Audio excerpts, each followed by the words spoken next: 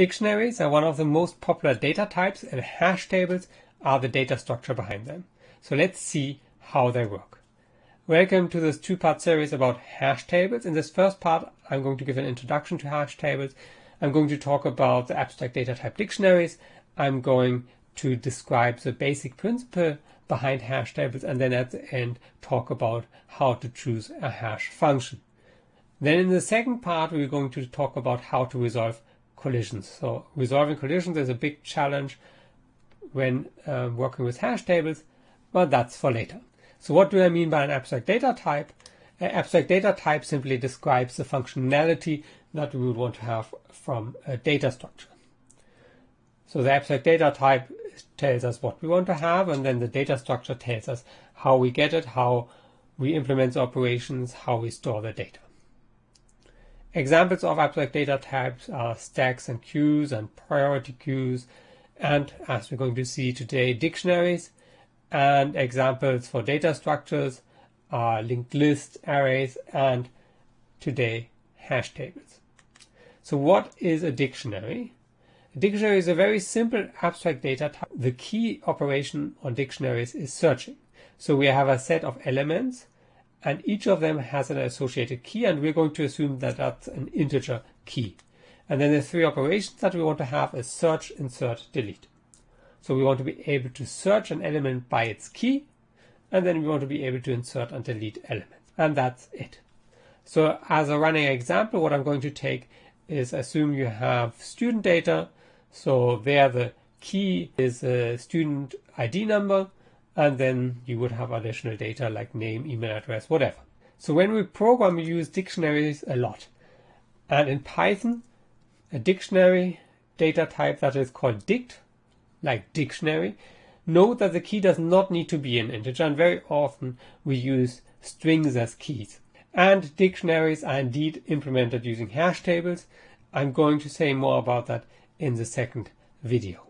There's also the data type set. Sets are simply dictionaries without associated data and as such are also implemented using hash tables.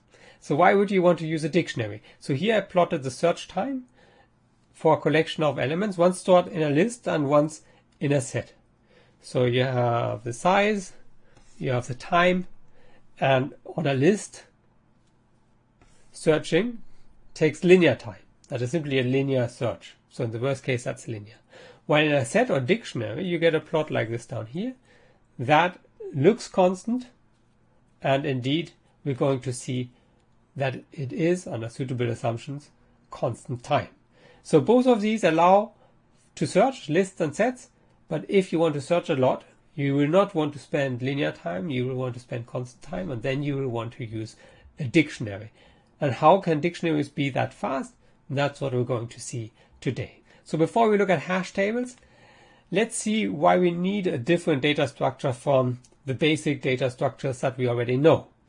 So for instance, why can't we use an array or why can't we use a sorted array? So how long does it take to search in an array?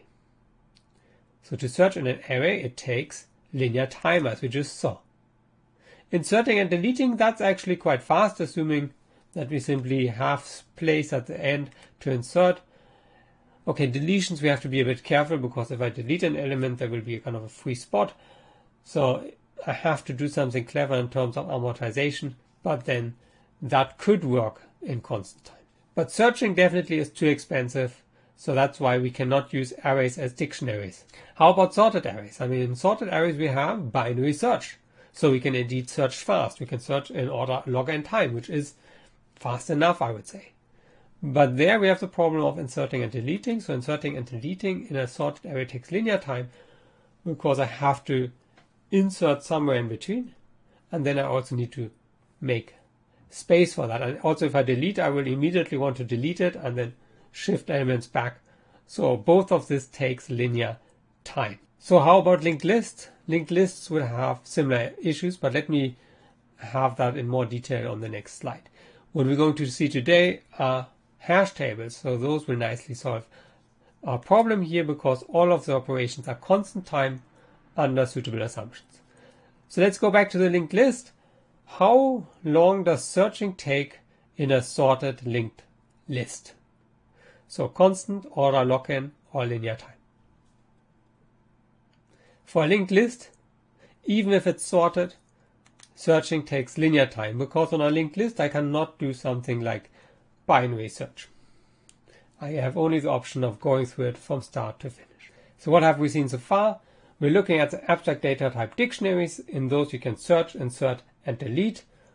In Python they are called dict or set if you only have the keys. Let's look at how they're implemented using hash tables. So what is a hash table? I'm going to start with something that is not quite a hash table. Hash tables generalize arrays, and a very simple way to get a search structure or dictionary in an array is a direct address table. That's not quite a hash table yet, but that will be our starting point. So assume we have again this, let's say, student data. So we have the keys, the student IDs, and some associated data. And let's further assume that the keys are in a range between 0 and 1 million. Then a very simple way to get an efficient uh, dictionary is to simply have an array of size 1 million or 1 million and 1 and in that store the data in such a way that if your student ID for instance is 2 then at position 2 I'm going to store your data and that is called direct addressing because I directly take the key and use it as index in the array. So what's our general setting? We have a set of elements S, each having a unique integer key from a universe 0 to m minus 1 and satellite data. And now we're going to store that in a table, so in an array of size m, so size of the universe. And at index i, I'm going to store the element with key i and its satellite data. And if i is not the key of an element, then I'm going to store none. So, how efficient is that? How efficient is searching, inserting, and deleting? How do I search? I get the key, I look into the table. Takes constant time. Insert, delete also. I can just write into the table or remove something from the table. Everything takes constant time. Perfect. What is the problem? The problem is the space requirement. No matter how many elements we have, we always use as space the size of the universe. So the space that I'm going to use is O of m. Now why is that a problem? Let's again go back to the example of student IDs. Let's say the student IDs are nine digit numbers. That means we're going to make a table of that size. So we're going to use lots of memory, and most of that memory will actually be just storing nones. Yeah, uh, so if the universe is much larger than the entries that we're actually planning to store, then a direct address table is very inefficient in terms of the space usage. And very often the set of keys will be much, much smaller than the universe often enough we even don't really have a restriction on the universe. So we might have allow all integer numbers, which then of course would be too large to store. So how do we solve this problem? The solution are hash tables. So again, imagine you have these student ID numbers, which might be nine digits, but you expect a much smaller set of students. Now, the idea is then to also use a much smaller table. So let's say instead of nine digits, we use seven digits. Now the problem is we can no longer use the ID numbers to access a table. So we have to derive a number from those nine digit numbers that gives us the index of an entry in this table. For instance, a very simple way of doing this would be to take the last seven digits. In this example, for instance, if I forget the first two digits, the remaining digits simply tell me I'm here in entry 3, or in this example I take whatever number the last seven digits are. This comes at a cost, the cost being that if I have several IDs, even if those IDs were different, if I throw away the first two digits, they may want to use the same spot in the table. So that's called a collision. And if we use hash tables, we have to think about how to solve collisions. Now we're ready to state what a hash table is in general. We have keys from a universe of integers 0 to big M minus 1, so size big M, and we want to store them in a hash table, so an array of size small m, where small m is smaller, small m is much smaller than big M. And we're going to do so by using a hash function, and a hash function takes the universe, so where my keys are, and maps it to integers. So the range between 0 and small m minus 1. And then for a key, I'm going to use that hash function to decide into which slot to hash my key. So if h of k is i, then I'm going to store that key on position i. We will have to address two questions. Firstly, what is a good hash function? So we saw the example of taking the last seven digits, but is that actually a good idea? Secondly, we have to think about how to resolve collisions. So what happens if there's another element that wants to be stored at position i? How do I resolve that? Before we take a closer look at hash functions, let's have a quiz. This is actually more an exercise than a quiz. So the setting here is we have a hash table of size 16, so indices from 0 to 15. We want to insert these elements, h12 and so on, in this order. And the hash function that we're going to use is 3k plus 1 modulo 60 And the question is, when do we get our first collision? So to get you started, let's do the 8 together. So 3 times 8 plus 1, so that's 24 plus 1, 25. Now 25 modulo 16. So 25 is 16 plus 9. So 9 is the index where the 8 is going to go. And then do the same with 12, 40, 13 and see when the first collision happens. The correct answer is B, 40.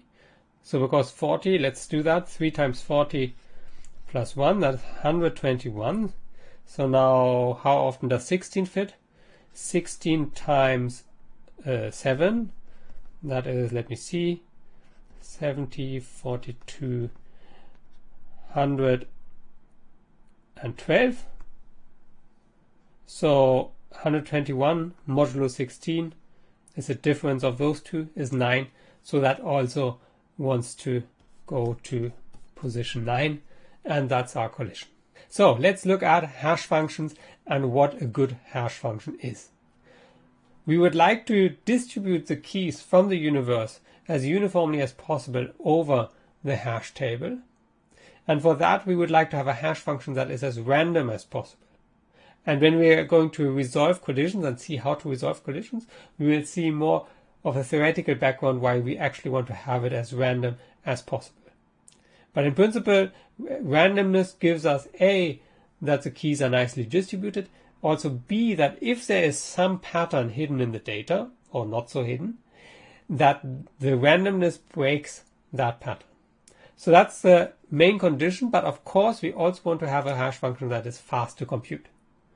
Uh, if you spend more time computing the hash function than searching takes, that would defy the purpose. So let's take a look at what to avoid when designing a good hash function. And as an example, let's assume we're hashing for the symbol table of a compiler. So the keys here would be variable names. And let's say they consist of capital letters, small letters, and numbers. Like for instance here, I, I2, I3, temp1, temp2, whatever. And the idea so a very simple way of hashing these would be to take the first two letters. So to take the first two letters, so how many options do we have? The alphabet has 26 letters. Uh, we have 26 capital letters, 26 small letters, plus 10 numbers. So we have 26 plus 26 plus 10 options per letter. So we get that squared. That is the size of my hash table. So now I would simply map all of the variables based on the first two letters. So what is the problem? The problem is that if I have many variables that start with the first two letters, then I'm creating lots and lots of clusters. So lots and lots of collisions simply because my hash function picks up this pattern that is in the data. So what is a good hash function? We will want to address this question for the setting where the keys are integers, where the keys are natural numbers. So in the example that we just saw, we actually had as keys combinations of letters and numbers. So let's first think about how to make sure that we always have numbers as keys. So that's actually easy to achieve. If we have a string as a key, we simply map it to a number. And here's an example of how such a mapping might look like. The word here, aap, so the Dutch word for monkey, it has three letters. Each letter has a so-called ASCII representation. So a representation as a number. And I can simply string up those numbers and that gives me a number for the string and that I can use then for hashing. So this allows us to from now on think about hash functions that map natural numbers to positions in my hash table. Our first observation here is that we want to have a hash function that depends on all digits, all bits of the input. Because otherwise it's very easy to pick up patterns that are in the data. So here, for instance, you could easily just pick up a specific letter if you ignore parts of the input. Let me show you some common ways to design hash functions. So the first and a very simple one is using the division method. So in its simplest form, we take the key and then to map it to uh, index in the table, we do modulo the table size. So for instance, if my table has size 1024 and my key is, let's say, 2058, so uh, 2 times m is 2048, so 2058 modulo m is 10. So 10 would be the index of where I map this key. If you use the division method in this way, avoid a table size that is a power of 2. Why is that the case? So I assume m is 2 to the p. What does that mean if I do modulo m? It means I simply take the p least significant bits of the key. Now imagine the key came from transformation that we saw with the string. Then this simply means that I take a certain set of letters or parts of letters. So this you will want to avoid. So a good choice for m is for instance a prime number, ideally not too close to a power of 2. So that's one way of getting a hash function. Another way to get a hash function is a multiplication method. So you take your number k, you multiply it with a number a between 0 and 1. So that will give you a decimal number. And what you do here, what I denote by modulo 1, is you take the fractional part. So the part behind the decimal point. So that is a number between 0 and 1, strictly smaller than 1. Now, if you multiply that now with m, you get a number between 0 and strictly below m. You round that down to the next integer. That gives you your index. The advantage of the multiplication method over the division method is that you don't have to think about what your m is. So it doesn't matter if m is a power of 2. So let's have a quiz about hash functions. The following. Let's assume our universe are the numbers between 0 and 29 and we have a hash function of size 10. And you have to choose between these two hash functions. Which one would you pick? h1 being k mod 10 or h2 being k divided by 10 rounded down. The correct answer is A, h1 being k modulo 10 because in this way I map to every slot exactly three numbers. k divided by 10 actually maps everything to the first three slots, 0, 1 and 2. So that's a bad choice. Uh, better than that would have been k divided by 3. That would have nicely distributed the numbers again. But that was not an option here. So what have we seen in this video? We have seen dictionaries as abstract data types where we can search, insert, delete. They're available in Python as dict or as set. We have seen the principle of hash tables coming from direct address tables. And the challenges that we observed is that we need to have a good hash function. That's what we already discussed. And we need to be able to resolve collisions. That's what I'm going to show you in the next video. See you there.